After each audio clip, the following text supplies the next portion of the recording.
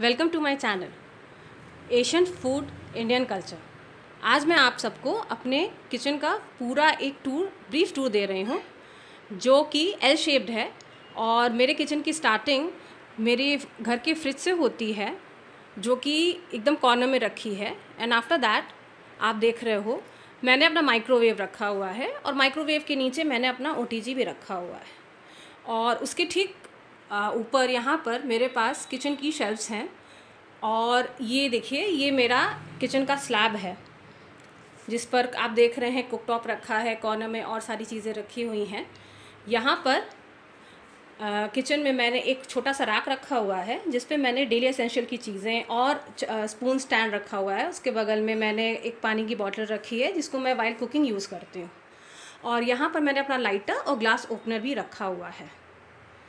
और इसके ठीक बगल में मेरे किचन की एक बहुत बड़ी विंडो है, जिसको मैं वाइल्ड कुकिंग यूज़ करती हूँ। और उसके ठीक नीचे मेरा ग्लास टॉप है, जो इनालसा का है। और इस कुक ये फोर बर्नर है, जैसा कि आप देख रहे हैं। और इसके बगल में मैंने अपना मिक्सर ग्राइंडर रखा हुआ है। और इसके ठीक बगल में इलेक्ट्रॉनिक केटल रखी है और इसके पास मेरा सारा कटलरी स्टैंड रखा हुआ है जहाँ पर पीछे मैंने टोस्टर भी रखा हुआ है और मेरा सैंडविच मेकर है और इसके ठीक बगल में मैंने डेली यूसेज वाले इंस्ट्रूमेंट्स रखे हुए हैं जिसमें आ, मैं अपनी डेली यूसेज की चीज़ें और ये मेरे बेटे का पानी का बॉटल रखा हुआ है।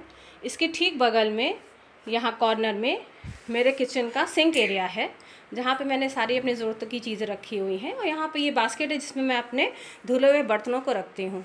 और इसके ठीक ऊपर भी यहाँ पर रैक है, जैसा कि आप देख रहे हैं।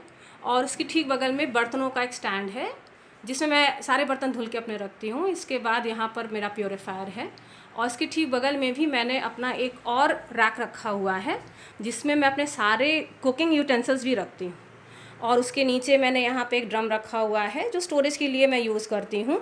यहाँ पर दो रैक्स हैं, जिसमें मैं अपनी सब्ज़ी, आलू, प्याज वगैरह रखती हूँ और यहाँ पर दूसरे कंटेनर्स वगैरह भी मैं रखती हूँ। और इसके ठीक बगल में यहाँ पर मेरा चॉपिंग बोर्ड ऊपर रखा हुआ है, जैसा कि आप देख रहे हैं। और यहाँ पर मेरा वंडा शेफ़ का एयर फ्रायर और प्रोसेसर भी रखा हुआ है। और आपको अभी मैं पूरे किचन का एक होल व्यू दे देती हूँ। जैसा कि आप देख रहे हैं, मेरा किचन एल शेप्ड है और ये अपने आप में बहुत अच्छी और बड़ी किचन है और इसमें मुझे काम करने में बहुत आसानी रहती है। एंड होपफुली आपको ये वीडियो मेरा अच्छा लगा होगा।